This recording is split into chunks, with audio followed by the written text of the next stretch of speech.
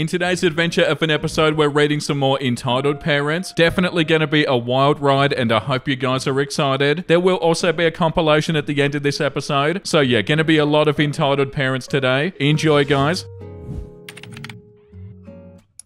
My dad is charging half of my paycheck in rent. I'm not going to be able to move safely if he doesn't stop. I'm scared and I don't know what to do. I love him because he's my dad, but I feel like he's mostly seen me and my sister as dollar signs. My brother doesn't have to pay rent and he's 31. I'm 21. I'm going to start my out of college job soon and I will be making a good amount. And he'll be getting a full mortgage payment out of me from my paycheck. He has direct access to my bank account and he's also holding my savings account hostage, saying that if I skip out, he takes it all. I don't have access to my savings account at all, and it has everything I've saved since I was 12. He has joked about taking what's left of my college fund that I saved myself and going on an expensive vacation. I haven't relied on him financially since my mother died, and he's not poor. He gets paid $60 an hour and he brags about his high paycheck a lot. He doesn't have a gambling problem or any addictions he needs to pay. He just wants control over me to keep me from leaving. I'm worried if this continues, I'll never want to see him again. Oh my god, I'm so sorry, OP.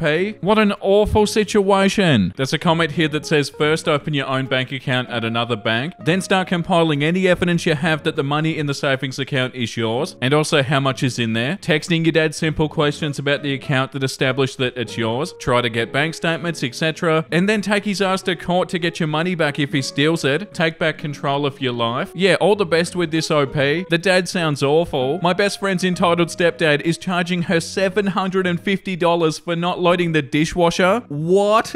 My best friend Ellie, 22 female, moved back in with her mum, 50 female, and stepdad, 55 female, two years ago. She has two brothers, Ben, 18 male, and JJ, 15 male, that also live in that tiny trailer. Just yesterday, Tuesday, the 2nd of the 1st, Ellie and her stepdad got into an argument over the dishes. She's been working 10 hour night shifts the entire week and was too tired to load the dishwasher. She just started a new job as a supervisor in a grocery store. He lit into her, calling her fat and lazy and other nasty stuff. And then the following morning, Wednesday, she sent me a screenshot of the message he sent her. This is verbatim. Ellie, for this incident to be forgotten, you will owe me personally $350 and we will be adding $400 to your rent this month. We treat you no different from Ben. If you refuse to accept this punishment, then you have a week from this Sunday to move out. Also, in the meantime, you're expected to still help out with what's needed. JJ needs to be picked up at 6:30 tonight. If you refuse to help out, you'll be out of this house by this Sunday at noon. The ball is in your court. I expect answers by the time I get home tonight. I am beyond furious that this slime ball has the audacity to say that they treat her no differently from her brothers, when that's complete BS. Her brother Ben is 18, is working a full-time job and does not have to pay rent or bills, or is expected to help out around the house like she is, and all this time she's been struggling to save money so she can return to school and study programming. But this bully keeps on knocking her down for the littlest transgressions. Her mother does nothing to help her, and neither do her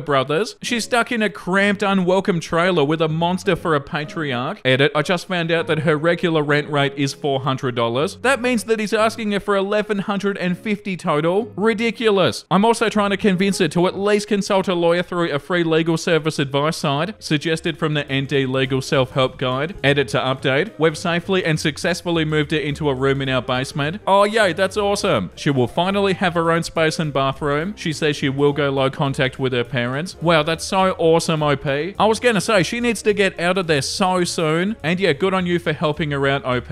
And were they trying to get her to move out? Like saying stuff like, you owe me $350 and also $400 in rent for the month. And if you refuse, you can move out. Like, yeah, anybody in this situation would love to move out. Acting like leaving would be bad. But yeah, that's so awesome to hear that you helped her out, OP. Hopefully things will be looking a lot better soon. I forgot how wild this subreddit is. Mum signs a contract and then expects her unwitting child to pay. I work in the funeral business. Some of the most backhanded and entitled family behavior happens here. Today we had a lady who signed a contract to buy a grave back in 2020 and then has not made a single payment towards it. She got a letter saying that she has until the end of her payment plan, December 2024, to pay in full or the grave she signed for will be essentially repossessed and put back into the inventory. Today she comes in and a half demanding to know why the grave will be repossessed. She openly admitted that she didn't make any payments towards towards the grave because eventually I'm going to die, and when I do, my daughter will get all of my money so she can pay for the grave then. Essentially, she signed a contract agreeing to pay five grand, and then was just assuming that if she didn't pay, we would just keep the grave on hold, and then it could be her child's financial responsibility after she dies. And then she had the nerve to get upset and throw a tantrum because we said we wouldn't hold the grave that she didn't pay for. Wow, that's hilarious in an aggravating sort of way. Like, what the hell are you talking about? Some people must genuinely be so delusional. Like, how is this a real person? And how is that a thought process they had? Like, oh yeah, it'll totally be fine. No, it won't.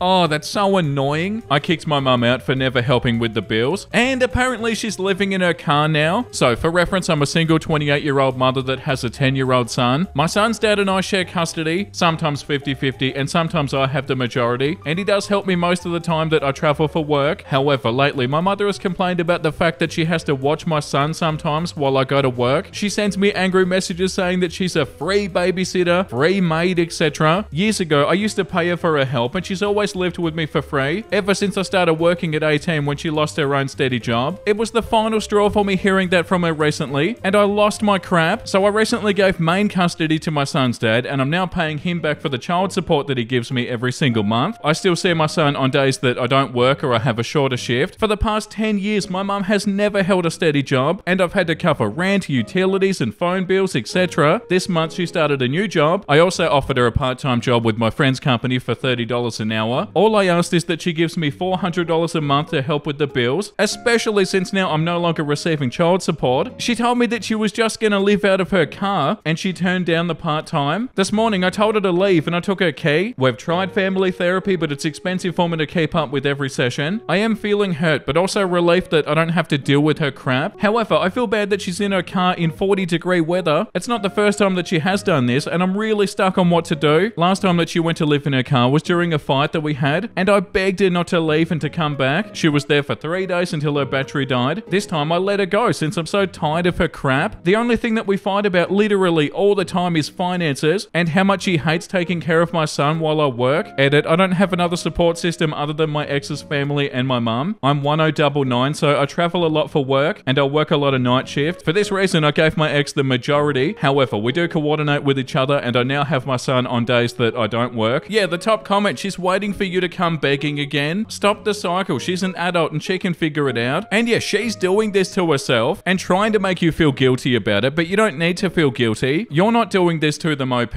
Like it says here, I feel bad that she's in her car in 40 degree weather, but you don't need to feel bad. They're choosing to do this. And yeah, good on you for standing up for yourself, OP. Entitled Mum insists on knowing my salary and my spouse's. Every time I get a job, she wants to know how much I now make and whether it makes more and if the benefits are better. Last job, I finally caved after 20 years and I told her I make over six figures. I gave a number. I got a new job and the pay hasn't really changed, but the benefits have, going to a smaller company. Anyway, she asked and I was quiet as to whether it paid more. So then she kept on pestering and pestering me and asking why I won't tell her my new salary and how she needs to know it to know that I'm doing well. Then I put on a huge act and said I make gobs and gobs and I'm doing amazing. It sounded phony. She also demanded to know my spouse's salary. She said it so she knows whether my husband is capable of supporting me. What the hell? I didn't give her any numbers this time. And she went on a tirade about how it's like I hate her. And she can tell I seethe with hatred and I won't sit next to her at dinner when we see each other. I moved out of state. She doesn't give a crap about my kids or husband and insists on talking to me with her face really close to me the entire time for 12 hours straight. It's exhausting. She asked me why we don't have a normal relationship, and I told her it's because she doesn't respect my boundaries. She ignores the fact that my dad has ghosted us, and she doesn't care about my family. Ironically, my spouse's parents have never asked, and I do tell them what I make without any issues because they respect my boundaries. Wow, that sucks. It's none of their business. The top comment says, Never, never, I repeat, never give her any information. My mum is also like this. When I was young, she would ask me what my friends' parents do, check my wallet, go through my drawers, etc. Back then, I couldn't do anything because I lived with my parents. When I moved away, she couldn't do this anymore, but she still hasn't changed. She's still asking about my finances and about my husband's job. Sometimes she would say, Your uncle or your aunt's asked about blah blah blah. My answer, you should tell them that it's none of their business, or tell them to ask me direct. I think your mum, like mine, wants to know about everything and thrives on being the first to know about stuff. When my mum pushed me for information, I asked her back, Why do you need to know? It doesn't concern you. You can't do anything even if you do know. I never gave her a straight answer. Yeah, that's so annoying. It's none of your business. I'll give you your own room, but there must be a CCTV camera inside. Hi, I'm a 17 year old senior high student. I grew up basically sleeping next to my guardians and now my mum. Broken family. I've never really begged for my own room, but I've showed interest in the idea to my family, all of which are females, lesbians, etc. And now my mum decides to move out of our current place. Everything we need is inside one room. She hesitantly told me about having my own room, and I said, Of course, I'd love to, but there must be a CCTV inside the room. No, there does not. I told her that's illegal and all that, hackers and stuff, and I'd feel uncomfortable, especially how I'm turning 18 this year. She said that she'd keep the camera pointed at the corner of the room where the door and computer is because she wants to make sure that I don't sleep late, but keep the bed and the closet away from the view. I couldn't really say no since now she's insisting on it. Call me a rude child, but I do think it's also because she wants privacy with her partner and her own room, as well as not having to worry about going home drunk with a student that needs to wake up early in the morning. Although I do accept my current situation and already have plans to prove that she doesn't need it because I'm capable, I just don't know how to feel about this whole situation, especially since I don't have the heart to do the suggested things on other posts about parents and CCTVs, with all the break it and point it somewhere else or remove the plug. Maybe if I convince myself enough I can, but I just really don't want any unnecessary yelling. I don't know what I should be feeling or need to do really. Should I just go with my plan to suck it up and prove them otherwise? No, definitely not. Somebody who's already doing this probably isn't gonna listen. They can't put a bloody CCTV camera in your room. That is so not okay. Yeah, no, I wouldn't be going along with this. You need your own privacy, and I don't really feel like you can prove it to them to remove it. If they're already doing stuff like this, they're not gonna listen. Oh, that's an awful situation. And that's all I've got for today, guys. They were the top posts of the week on the entitled parent subreddit. I'll make sure I make a new episode on here super soon. But for now, let's read something wholesome and then compilation time. I made an old lady blush today at work because she ordered two senior coffees and I said, Senior? I'm sorry, miss, I'm gonna have to ask to see some ID. And she covered her mouth and went, Oh dear me, and couldn't stop smiling. Oh, that's so cute.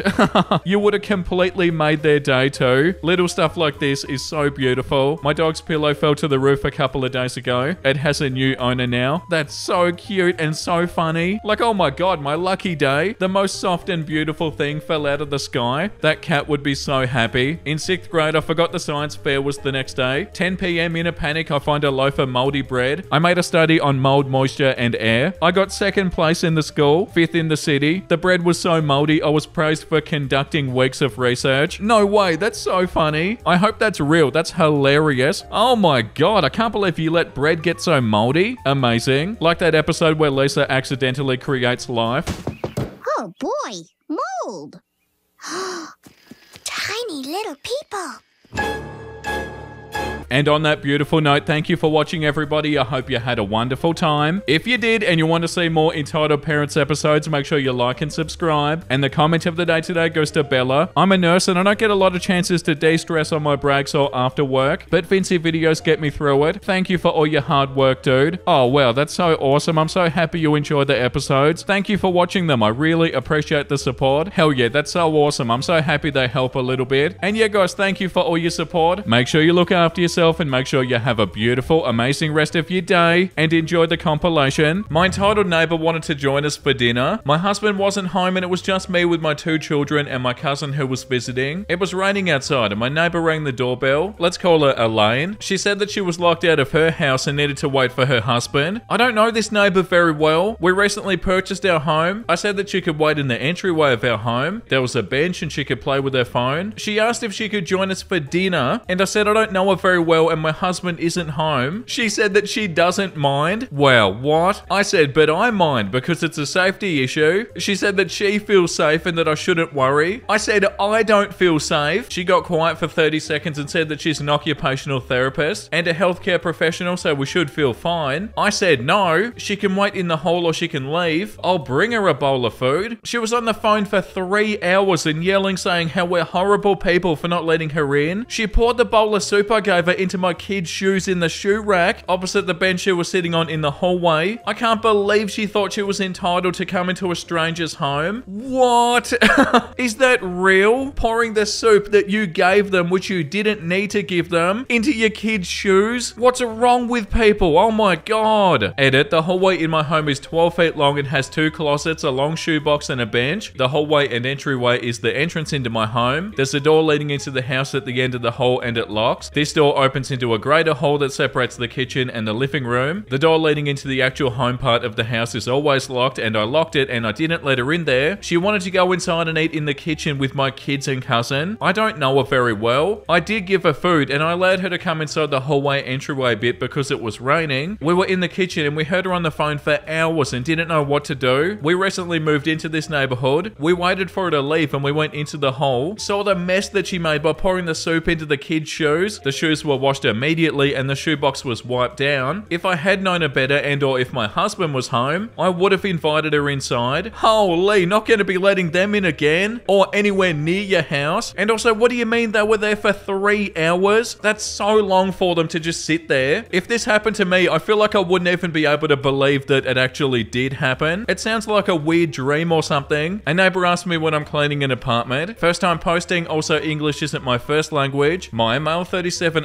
upstairs neighbor was found after three days lying on the floor of his apartment. Oh god, an ambulance took him away. I heard the banging on his door. I found out what happened and I spent the next three days finding out which neighbor had the spare key and then rescued his dog. A sweet 18 year old Jack Russell. So far it's been three weeks that I've been taking care of his dog. Bought food, showered her, four walks a day, the works. I live in a Hasidic Jewish neighborhood, which means that very few people have dogs. No one else would have taken her, but she's very recognizable in the neighborhood. An older woman from the building next door asked me if this dog was my sick neighbor's. I said yes. She then asked me when I'm going to clean his apartment. I asked her why doesn't she? She got all flustered at me. My sick neighbor is a widower without kids. He doesn't really know how to treat a dog, but he loves her and spoils her like a child. He's a lovely man, but clearly with problems I won't go into. His apartment was a biohazard. Edit and update. This story isn't to complain about my community. Most communities are more complex than what they seem, and while I would not like to live the way that ultra orthodox live, I have no problem with them living how they wish. I wouldn't want to be Amish either. I do have a problem with their political leaders, but we can live in disagreement. Please don't make this a race thing. I am not an immigrant here. The lady was just assuming things because I was helping. Apparently, my grandpa was a doctor. My neighbor's still in rehab. Doggo is still with us until his pop is better. Right, okay, so they assumed that it was your responsibility or something. Good on you for taking care of the dog. I'm a bit confused whether they're entitled or just sort of confused. But yeah, good on you for making sure the dog's okay. Entitled person tries to skip the entire Will Call line because he just needs to pick up his tickets real quick with a Starbucks bonus. I think about this guy every now and then and giggle. I was in the Will Call line at a Renaissance festival a few years back. It was before they had an online cell phone ticket system. So if you bought online, you had to get your tickets at Will Call. This led to a very long line at Will Call. I was standing in line to pick ours up and a man walked up and was standing next to me, looking at the counter and then kind of tried to get in front of me. I pointed out that the line was behind me and he said, oh yeah, but I just have to grab my Will Call tickets real quick. It won't take long. I stared him dead in the eye and said, yes, we all do. That's why we're in the Will Call line picking up tickets. He said again, well, I'll be real quick. They've just left it Will Call for me. I again repeated, right, this is the Will Call line. All of us have tickets at Will Call, where the line I'm standing in has formed. If you want to get your tickets, you need to go to the back of it. He threw his hands down in a huff and walked to the back of the line. I thought of him again recently when I was in the drive-thru at Starbucks. Some guy in a Mercedes convertible with a cigarette hanging out of his mouth pulled up going the wrong way on the other side of the car in front of me that was at the window. He asked the customer to ask the person handing out coffee to give the customer his mobile order and then pass it to him through their window so he didn't have to wait in line or get out of his car to get it. Thankfully, the Starbucks employee told him to kick rocks and wait in the drive-thru or come in. Why are people like this? I don't know, but it's so infuriating. Like it was infuriating to read about this, let alone be in that situation. We do need a t-shirt that says the audacity on it. The audacity of some people. Our neighbors took our fence while we were on a road trip. Perhaps there's a better subreddit for this post, but this is the first one I thought to go to. Well, the title explains most of this, but I'm fuming right now, so I gotta rant this one out. So, we've had issues with our attached neighbors from the moment that we bought our house. Originally, it was just 60 something female and her 18 something male grandson. The day we moved in, we tried to make small talk and introduce ourselves. The woman was dropping hints that the old owners used to bake her goodies all the time and she missed it. That's a bit rude, isn't it? Kind of insinuating that we should be like them because she deserved to be treated like a princess. The grandson introduced himself as the worst person in town. What an intro. So afterwards, we just tried to keep a friendly distance and stay out of their way. Suddenly, after about a week of living here, they began screaming at odd hours, blasting music and banging on the walls. The police were at their house for domestic disputes monthly due to the woman calling the cops on her grandson. We've lived here for over two years now, fixing up our house and making it beautiful and adding value to it. Up until this point, we've let them have their problems because it's not like we have kids to worry about protecting. It's just my partner and I in our mid 20s. Fast forward to last month, one evening after it got dark, we heard what we thought were gunshots right in our backyard. Mind you, we live in a downtown suburb with an older person facility right behind our house, so we were a little concerned. We have cameras that we installed just to be safe, so we checked them. The grandson and his friends were sitting in their yard talking about shoot another round. They'll just think it's fireworks, and that's a 45 round. Unfortunately, it was dark and we couldn't see them shoot it, but the camera picked up the sound of them shooting off nine rounds, so we naturally called the cops. The kids then left, and the cops couldn't prove that anyone was on the premises with a gun, so they let it go. In the beginning of August, the woman decided to let her daughter, sister in law, and their children move in with them for who knows what reason. Before this, they'd only come to visit on holidays, and at one time, they left their infant child on the street in a carrier for over half an hour until I knocked and let them know that she was out there. None of my business, but from there on, the screaming and yelling got worse, and this time with crying kids in the mix. I had half a mind to call CPS, but I've heard the awful things that happen to kids in the system, so I couldn't bring myself to do it. This month, we were fortunate enough to go on a road trip to see some cool places and visit family. We left the end of August and we were checking our cameras when we had service, which was not much. One day, we get a call from our unattached neighbor saying that our attached neighbors were building a really ugly shed with spare planks from who knows where. We tried not to worry too much because up to this point, their crappy shed wasn't our problem. Besides being an eyesore in the neighborhood, we just enjoyed the rest of our trip and let it go. Occasionally checking to make sure they weren't in our yard or anything, since it's nicely fenced in and gated. Didn't catch anything on camera, but them building their crappy shed. We arrived home a few hours ago to find that they dug out and stole a part of our fence, metal post and chain link fence, to create a back fence and gate for their yard. This left a huge holes in our back parking area that my partner almost tripped and fell into. They also tied it into our fence incorrectly, pulling our fence lopsided, basically damaging it. Unfortunately, our camera didn't catch them taking our fence. It was just in our yard in one frame and then in theirs the next. We want to press charges, but we aren't sure how to go about it. We checked our seller's disclosure stating that the previous owners of our house had to put the fence in, so we know it was our fence that they took. I'm so livid, and I know yelling at them won't fix it, but how can you be so entitled that you can't even buy your own chain link fans, but instead you steal your neighbors when they aren't home? Thank you for reading this rant. Entitled people suck. Yeah, oh my god, they 100% do suck. They left a comment here that says, as of where we stand after speaking to the, I don't, is it bureau or borough? I'm not good with words, guys. A few hours ago, it seems that the fence is on the easement and they'll be facing retaliation for taking it out without permission. Also, they did not get a permit for their shed and they will either have to pay the permit fee or remove it within a certain amount of time. I feel like we won this a little, but also still concerned for our safety, considering that we were the ones that brought up the shed being unpermitted. Even if we got some reimbursement from homeowners, we'd probably do the work ourselves regardless, so I don't know if it will cost as much since labor wouldn't be an issue. Yeah, wow, I can't even imagine living next to somebody like this, or living next to people like this. That's so infuriating. Entitled siblings demand that I help them move. My sibling is moving out of their current apartment into another one. They first loudly stated that I don't need anyone to help me move, but after a while they kept calling me, complaining that it's so much to do and whining that no one is helping. I just said, hmm, knowing fully well what would come next. They asked, you don't want to help me, which I declined. They said okay in a sad tone. A day later, my mum calls me and said that my sibling is so sad and disappointed that I won't help them. I couldn't care less. They never helped me move either or even visited me for an evening. I did help when they moved into that apartment and several times later with my car, even when they previously called it ugly AF, but then it's good enough to haul stuff because it's a big truck. They also lightly insulted me a day before and much more times over the year. I even thought about taking a break from our relationship. Now they expect me to help them move? No, you don't get to threaten people and make fun of their belongings and still get help from them. Yeah, I hope the wholesome memes are good today. We're gonna need it after this. Entitled mum demands I give up my airline seat because her child deserves it more. So, I'm on a five hour flight for a work conference. I booked a window seat because I like to lean against the wall to sleep. I board the plane, settle in, and everything everything seems fine. Then enters entitled mum, EM and her kid EK. Entitled mum staring at me. Um, you're in our seats. Me, I don't think so. This is 23A, right? Entitled mum, yes, but my son really wants to look out the window. Oh my god, what? Me, I booked this seat specifically, sorry. Entitled mum, well, my son has never flown before and he should get to experience it. You should give your seat to him. He deserves it more. That's not how that works.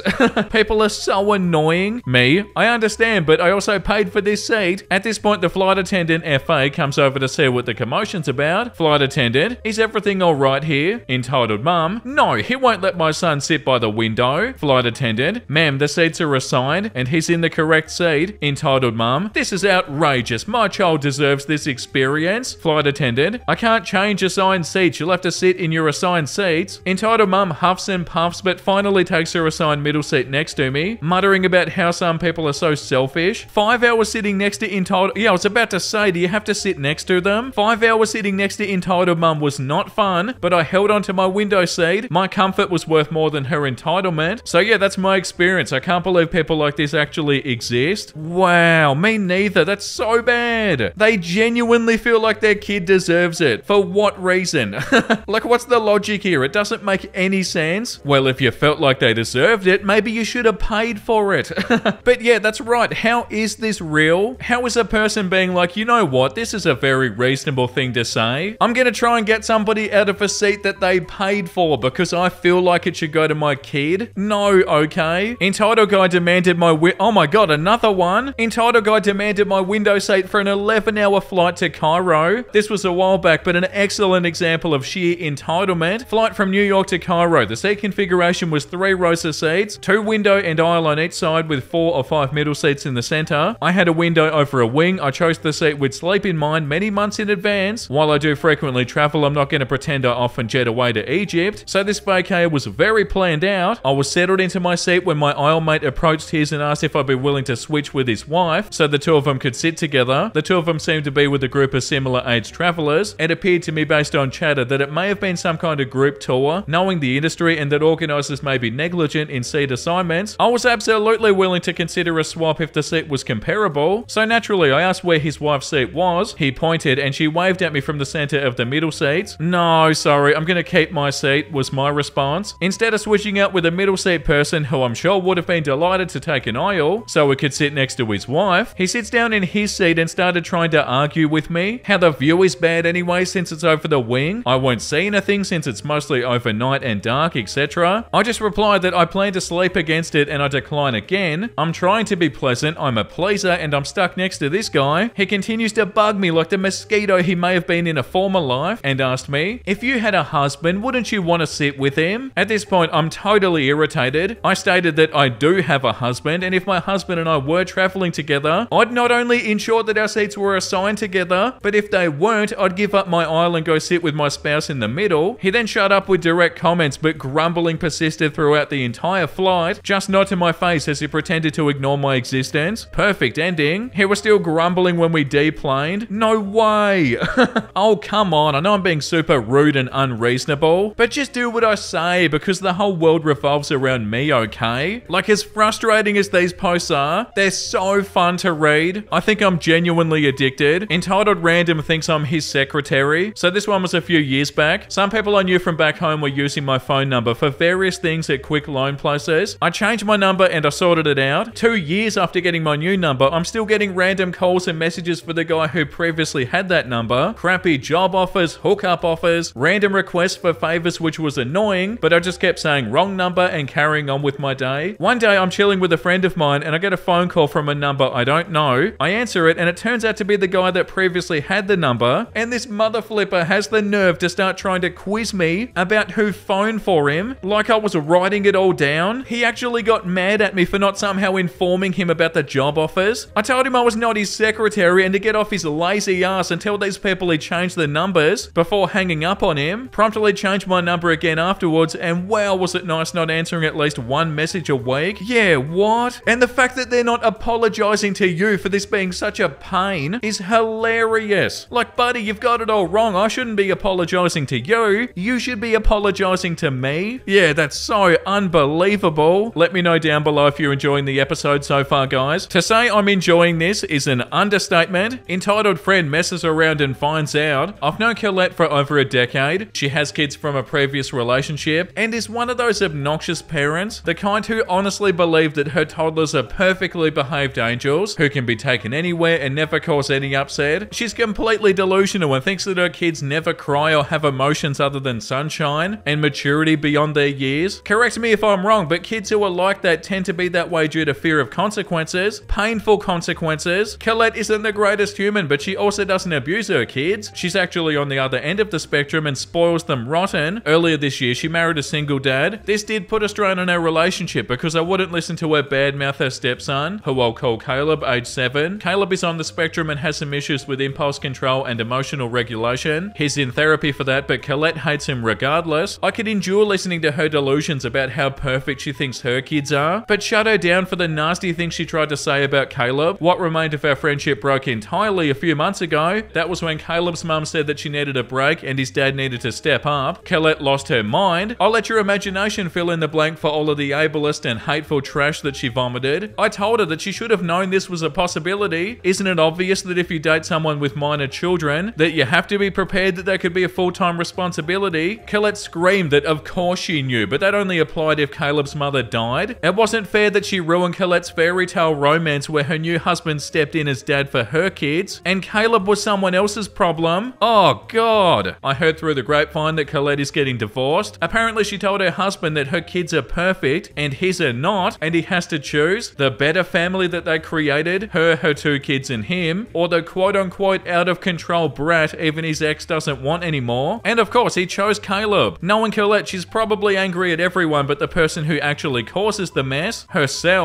God, that's awful. I know the word toxic gets used a lot, but people like this are so toxic, and it's so good that they're not putting up with it either. You gotta distance yourself from stuff like this. My entitled mother threw a fit over her gift that she picked herself. Originally, she wanted this designer bag in a bucket bag style. Sold out, so I pick a bag similar to it, in the same color and a different style. Weeks later, she sees another purse that she likes, and she asks if I can return the other one and get this one instead. Before purchasing it, I told her several times that I didn't like it, or the material the purse was made of, and mentioned that the leather was too soft, because there were already scratches on it, and she insisted I get it, so I did. Christmas morning comes, and I ask her if she wants to open her gift, and she says no. Later after dinner, when everybody was opening their gift, she pushes it off again. She finally opens up and starts complaining. She complains about how it was all messed up and how she wanted to return it. I told her I couldn't because it was discounted and sold as is. She responded that she was still gonna return it. I reminded her again how I told her I don't think she should get it, and of course her response was, I don't remember that. I'm fed up and I'm now heartbroken because no matter what I do, it seems like it's never enough. I asked how it was even possible that she found fault and disliked something that she picked out herself, and something else that makes this whole situation worse is she didn't even get anyone anything for Christmas, not even my little sisters, whose birthday was on Christmas. Update My mum told my brother that she no longer wanted the purse because it wasn't what she expected, even though she saw it in person and picked it out herself. Not only that, but I asked if I can talk to her so I can express how she made me feel, and she told me that she doesn't want to talk to me because I was rude to her. Oh, I'm so sorry, OP. That's so frustrating. And yet, they're not even grateful a little bit, and by the sounds of it, they're trying to make drama. Are they one of those sorts of people who has to make an issue out of everything, or actually kind of enjoys complaining and making a fuss? Because it definitely feels like it. And yeah, like you said, has the audacity to complain about this, but doesn't get anybody else a present. Yeah, that sucks, and I don't really know what you do in a situation like this. Yeah, like the top comment says, oh my god, she's cruel. Nothing will ever be good enough for her, so stop trying to please her. Hopefully, you can get your little sister away. From now on, get her exactly what she got everybody else. Sell the purse and give the money to your sister. Yeah, that's a really good idea. Like, yeah, if they're not happy with it, take it back and don't replace it. They don't deserve anything. The next one is called My Cousin Sends Our Family Her Child's Christmas List Each Year, and it's completely insane.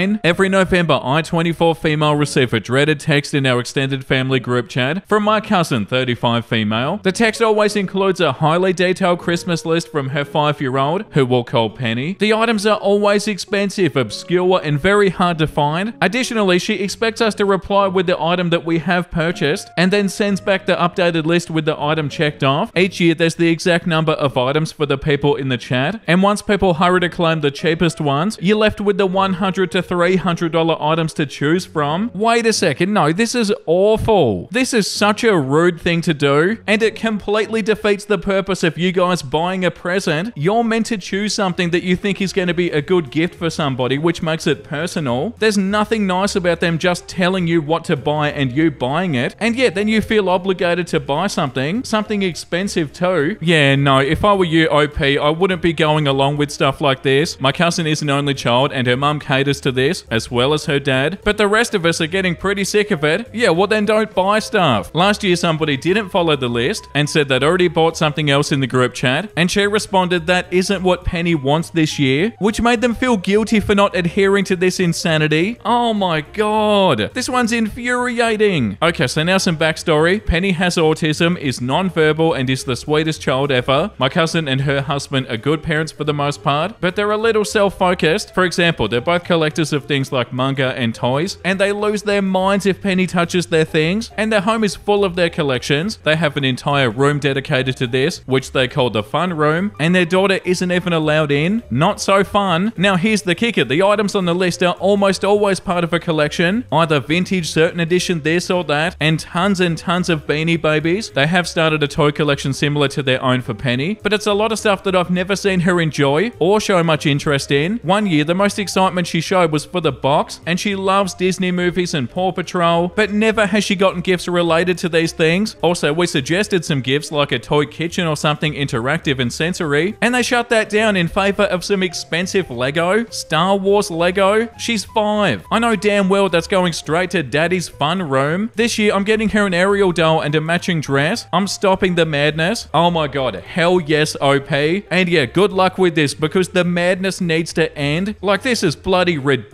And the fact that they think they can do this, but yeah, you're doing the right thing, OP. The first step is to not entertain this sort of BS. I can't get over that. It's so rude. And yeah, so self centered and so entitled. And yeah, the backstory about them and their toy collection didn't really do them any favors. They kind of sound even worse now. But yeah, good job, OP. You can't enable crap like this. The next one is called My Natural Hair Color is Too Much for My Mother to Handle. I didn't know where else to post this. My mum started taking me to hair salons to get my hair highlighted when I was around 10. I was never asking for it, but I went along with it because I thought it was cool that my mum was letting me bleach my hair. I got tired of it around a year later. I tried one time to get lowlights instead of highlights, but it didn't work out. I didn't like arguing, so I stopped trying after that. I more or less let it go until about a year ago. When I told her I was going to grow out my natural hair color, I figured that since I'm an adult, it'd be easier. She agreed initially, but after a couple of months, she couldn't deal with how my roots looked, said that there was enough stress in her life already, and she didn't need one more thing on top of it all. Got back into a salon highlights again. I argued, but I got tired of it. Your hair color shouldn't affect their life at all. Am I missing something here? She is truly a good mother, and we are very close. You have to understand that she's not in the best place mentally right now, and I absolutely hate the idea of making her feel worse. Yeah, but this is not something that should make her feel worse, and it's kind of ridiculous for them to get upset about your hair color. I don't want to go into her issues because that feels wrong to do online, but it's important to note that she has always had people in her life controlling her hair too. She knows what she's doing, but can't bring herself to stop. I'm not asking for anyone to solve my problem. I know I'm an adult and I could start doing whatever I want regardless of her. I just needed a place to vent and maybe get some others' opinions on the situation. Edit, I clarified this in some comments, but I feel like it's necessary to add here. Her issue is with the color itself, not just the roots. Yeah, the top comment. She can't bring herself to stop, but you can. Mum, I'm not coloring my hair anymore. My hair, my choice. This is where the discussion stops. Walk into another room or hang up the phone. Don't engage with her on this subject. Yeah, a million percent. And if you feel like you have to do this OP or you should do this, then do it because it's completely your choice. And like, surely your mum will get over it. Like, it's bloody hair for God's sake. Not really something that needs to become an issue. But yeah, good luck, OP. The next one is called In Laws Want a Free Five Star Holiday Abroad. This story happened several years ago. We needed a witness at the consulate, so my husband proposed his parents, as they're both retired. They had to fly abroad and they wanted us to pay for their flights. Fine, yes, sounds reasonable. And then they said they needed a translator, so my brother in law had to go with them. Fine, sounds reasonable. But then they said that we needed to pay for the hotel. Fine. Then we needed to pay for my brother in law's language course and their two month holiday in a five star hotel because they were doing a favor. What the hell? I ended up calling my parents. Yeah, once again, like the top comment says, at least you got a serious heads up to how they are and are now forewarned about doing anything with them. Yeah, that's right. Oh, okay. Thank you for letting me know, and I'm not gonna ask again. The next one is called Should I Kick Her Out? I, 27 female, and my husband, 29 male, live in the same building as my mother in law, 55 female. The owner of the building accepted selling it to me, and I'm paying like a monthly rent until I pay it all off. Mother in law has no idea that I own it, and she gives me rent money every month. I have two female Labradors, and mother in law has one male Labrador and one mixed breed. So when my dogs were in the front yard, I used to feed all four of them out of my money, and she would only clean if she was passing by and she sees some poop. Overall, it's either me or my hubby who cleans. Yesterday, I completed a kennel made out of concrete and all the heating and cooling things so the dogs have their own little house. And as they're both potty trained, we haven't put like a sand corner for them. I gave mother in law the previous house for her dogs, which is in perfect condition. And we also reminded her that from now on, she needs to step up and take care of her own dogs, as we're expecting a baby and we'll use the extra money towards the baby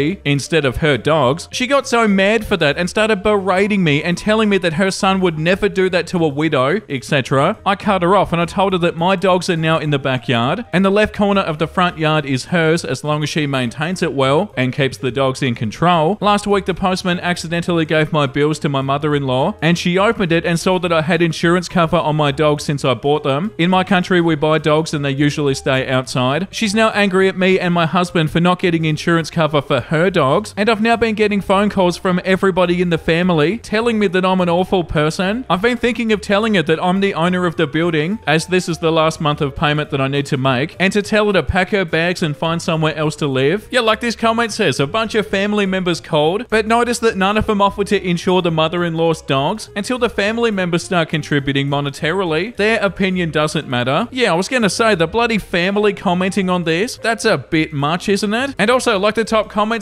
not the a hole, but I wouldn't tell. I'd wait until it's all paid off and paperwork is in my name. Who knows what you might try with the family and or the landlord if you give her a heads up like that. Yeah, definitely. I don't feel like you should tell them that you own it. Maybe try and get them out of there first. The next one is called My Mother Got Rude with a Friend of Mine and wonders why we won't help her. My mum just assumes that my friends are just there to take her BS, and I just waited until one of my friends just yelled at her. My friend Tyler can be entitled, but right now my mother is the entitled one. She just expects my friends to take her abuse and just to roll with it. Tyler decided to tell me that he won't be watching her dogs and cats on the next vacation. I was frustrated because now my mother expects me to use my paid time off and stay up at her house to watch the animals because, as she said it, I don't have plans. Newsflash, the vacation isn't until July, and the first weekend where I'll be at a convention, and I already paid for the tickets. I told my mum, who just said, Well, can't you just go the week after? I told her that conventions don't work like that, and she's gonna have to pay a pet hotel because I'm not giving up my paid time off just to be a pet sitter. I also had to remind her that I'm a grown ass adult and I've got a life. She's still acting all entitled and like I owe her something, which I don't. She doesn't seem to understand that she's acting like a jerk. It's almost Christmas and she has the goal to demand my paid time off to be used for her vacation. I'm saving my paid time off and I want to use it for either emergencies or time for myself. To sum it up, my entitled mother mouthed off to a friend and then decides I have to make time for her. Yeah, the top comment is so simple. F her and her BS. Yeah, honestly, OP, 100%. I'm sorry that you have to deal with stuff like this, but yeah, definitely don't give in to her BS. And also, just so you guys know, there is some mentions of suicide in this next post. You can skip to this time on the screen for the next post. The next one is called Is it appropriate for my mum to track my location as I'm 28 years old? Okay, so I feel like we don't even need to read this. No, definitely not. It's really embarrassing that my mum still tracks my location and I'm almost 30. If I go somewhere she wasn't expecting me to go or is somewhere that she doesn't recognize, she'll text me, Where are you? Like she can literally see where I am on the map. Why still ask me where I am? I know she's just nosy and wants to control me. I've tried turning off my location in the past and it resulted in a huge fit from her, so I turned it back on. But it's like I feel like I have no privacy and I don't even live with her. I feel so stuck and I really want to break this hold that my mum has on me. I'm almost 30 freaking years old and my mum is still asking me where I am and when I'll be home. Now, when I was in college, I did attempt to take my own life a few times in my car. Overdosed on pills while I was in a parking lot. So I do recognize that she maybe has some anxiety coming from that that, but I haven't been suicidal for years now. I was okay with her having my location for a few years after that because I understand that she has anxiety, which I partially caused, but she has to trust me at some point, and I feel like a child even though I live alone and pay my own bills. I can't seem to break this control that my mum has over. I know it's going to cause a huge fight if I turn my location off, so I just deal with it, but I need my independence. I'm going crazy. Yeah, OP, you're definitely to have to stop this at some point, even if it does cause a fight. Yeah, like the top comment says, turn your location off, and if she does flip out, just hang up and temporarily block her. She will get the hint eventually. Yeah, definitely, it's to have to stop at some point. I feel for you though, OP. That's not a fun situation. The next one is called I Just Wanted to Be a Kid. My mum's immigrant guilt ruined my childhood. My mum and I immigrated to the US in 1997. She met my stepdad through an international dating service. My life in America was never hard, so to speak. My mum always told me and my sister growing up that times were tough. As a kid, I never knew what it meant. My childhood was filled with the word no. As a kid, you're gonna want toys and you're gonna want to go do things with your friends. My mum always said no, and if I asked my stepdad, all he would say was go ask your mama, which always led to a no. Now, I will say this I was never starved and I was given what I needed growing up, but it was always bottom of the barrel. I remember I asked my mum for a pair of Nike shoes once, and I really mean once. They were $65.99, and my mum looked at me and said, You're so greedy. You're so ungrateful for what you have. Your family back home could never afford nice shoes like that. Don't ever ask for shoes like that again. Until I got my first job, I wore Walmart and Kmart. My mum had drilled it into my head that me asking for things that any kid would ask for was wrong, that my family back home had it so bad that I'd be doing them an injustice just for having clothes or toys or video games when they couldn't. A side note that's important was when I came to America initially, my mum and stepdad did not want me to start school a year late, so I brain dumped Spanish and I learned English. It wasn't until last year, 2022, that I really started taking initiative to learn Spanish. Also, a side note about my parents they have separate bank accounts, and my stepdad claims that his money is his and my mum's money is hers. This will become relevant. Also, my mum would never pay for a ticket for me to visit our home country because she said it was too expensive and that I didn't speak Spanish anyway. I got to the point where I was very fluent in conversational Spanish. My original plan was to surprise my mum that I'd been practicing by getting in touch with my family members back in our home country. I was talking to one of my cousins and I asked her how her day was. She said it was okay, but she was waiting for the wire from my mum. At first, I thought that was some sort of slang that I was not familiar with, so I asked her to clarify what she meant. She then tells me she was waiting for my mum to send $800 down to them and that they were waiting at a Western Union for her MoneyGram to come in.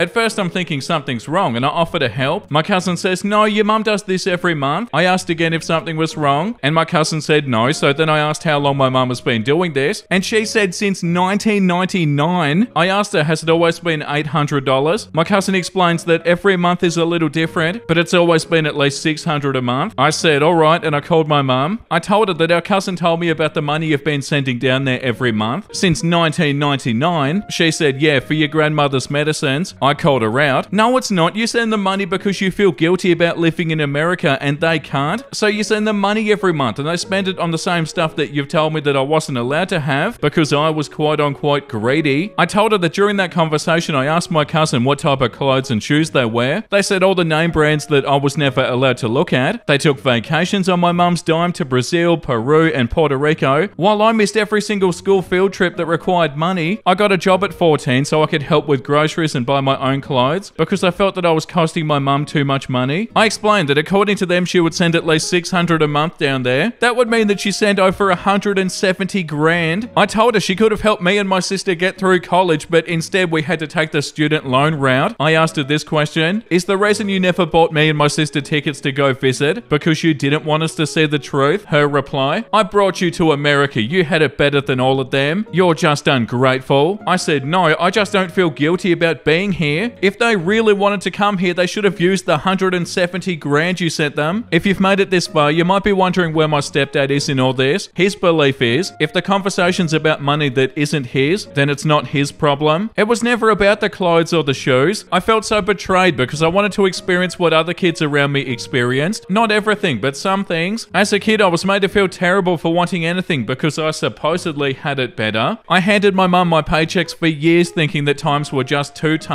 just to find out that I had nothing to feel guilty about. I feel like my childhood was taken away from me because I wanted all the things a normal kid was asking for. Yeah, I'm so sorry, OP. That sucks. And yeah, like the top comment says, I'll never understand people who put their extended family before their own children. Yeah, and also like this comment says, I brought you to America so you could have a better life. Proceeds to send the better life back home. The next one is called 25 male. Is this normal behavior from my mum? So I'm 25 male and I'm currently living at home with my parents. I went on a run this morning like an hour and 30 minutes and I didn't tell my mum. My mum knows I usually go on runs every other day. My mum called a couple of times during the run, but I didn't see because my phone was on silent. My mum also tracks me using an app on my phone, but I disabled it to save battery. I can't tell my mum where I'm going all the time and what I'm doing. I understand that she might have been worried, but she has to at least trust me a little. Now she won't talk to me and also slammed the fitness tracker I gave her on her birthday in front of me, saying that she didn't want it anymore. Like, is it normal behavior for a parent to act like this? Like, I'm not 15 anymore, I'm 25. How do I deal with this? I usually tell them where I'm going. I was just in a hurry and I forgot. No, definitely not OP.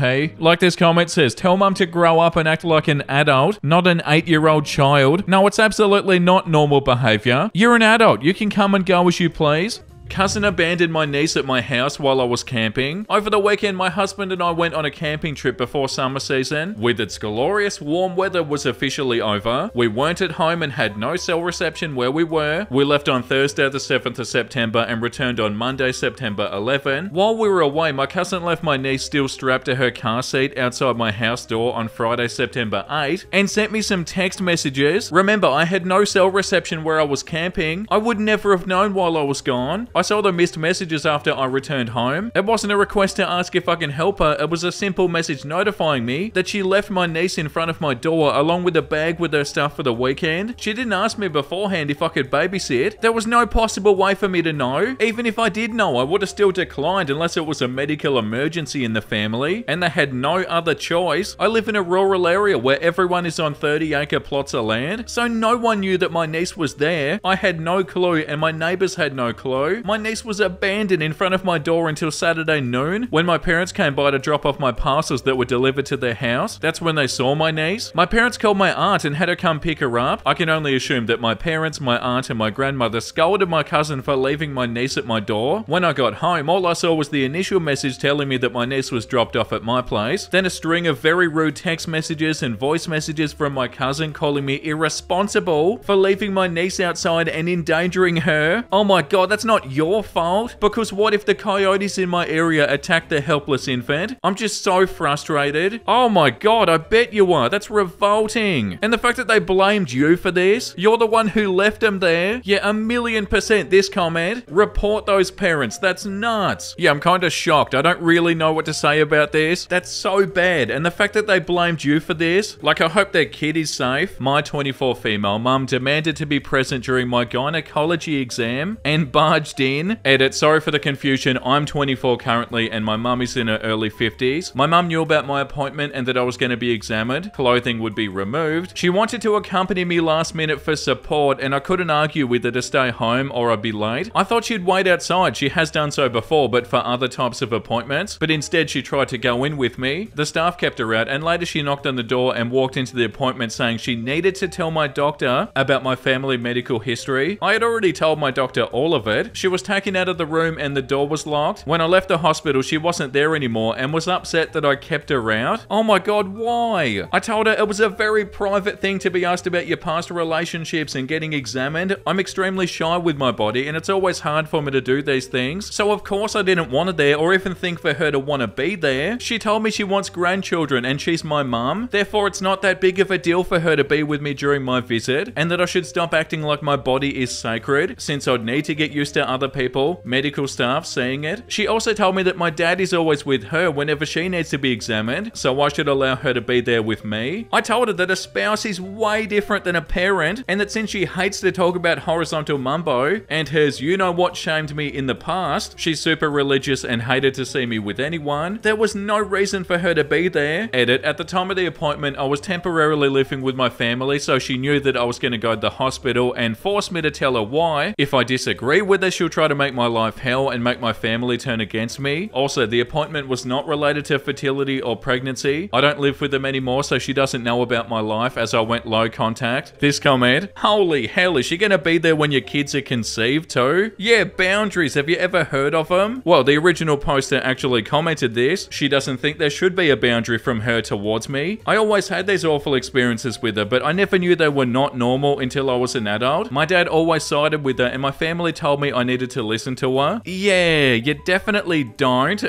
but yeah, that's so gross and entitled, and they need to learn to respect your boundaries. And I'm sorry that you have to deal with this. Father covers for his new wife. He's surprised when I cut him out of my life. I'm starting this out by saying what's done is done. This has been a long time coming and it's well deserved. Please don't suggest I try to reconcile with my parent. Recently, I've come to learn that T, my stepmother, who's only been around for eight years and whom I don't care for, stole $768 from me, 32 male. When I spoke to my father, all he could do was complain about how many problems this is causing him, the stress on his heart, and how it's damaging his relationship. He didn't apologize for what she did, he just made the phone call about himself. For a phone call that lasted an hour and a half, I probably spoke for 15 minutes or less. I told him we could talk about it when I get there and figure something out. He then suggested flat out that I can help him work to make back the money. Yeah, sure, let me perform physical labor to earn the money that your wife stole from me and pocket you another 900. Yeah, that sounds great. I was coming in from out of state for a different reason and already planning on staying at the house. This is my childhood home with my room still furnished how I left it. Like my clothes are still in the dresser for when I visit. Plane tickets purchased and I send him the confirmation date. The next day, he then texts me that I'm no longer welcome at the house, that it's time I grow up and seek healthcare somewhere else, and that he just needed to know where to send the money. This throws all of my appointments into the void, and I had to cancel and rebuy plane tickets because of it, and now I'm staying with other family. I know we did it to protect my stepmother from the confrontation of facing me in person. She crumbles to dust if people raises their voice around her or curse too much, even casually. For reference, this woman is in such need of therapy that I cleaned and rearranged the kitchen one morning and they started crying and claimed that I was kicking her out of the house by making it not hers. All I did was do dishes and organize and clean the spice cabinet and pantry. He kept saying that it's for his health, that I'm not there, and that it's too much stress. I have my own money and transportation and provide my own food. The duration of the trip was two weeks. I block him and my stepmother on everything. I ask my family to no longer speak to my dad about me, and this is all after a lifetime of abuse and narcissistic BS from my father. Now I hear through the grapevine that he's shocked and just couldn't believe I'd do this to him. My sibling already no longer speaks to him because of similar things, and him telling my brother to grow up and quit being a you know what after my sibling set a boundary with him.